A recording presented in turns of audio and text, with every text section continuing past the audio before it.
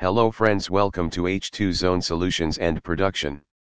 Just press and, hold, volume down key, power button, and home button, simultaneously for some seconds.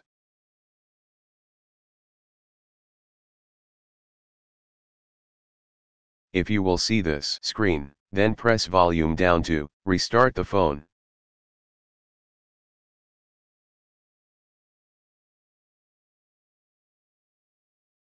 Now press volume down, and then press power button for choose first option, reboot system now, and wait for some seconds, after that you will see welcome screen, goodbye, thank you for watching.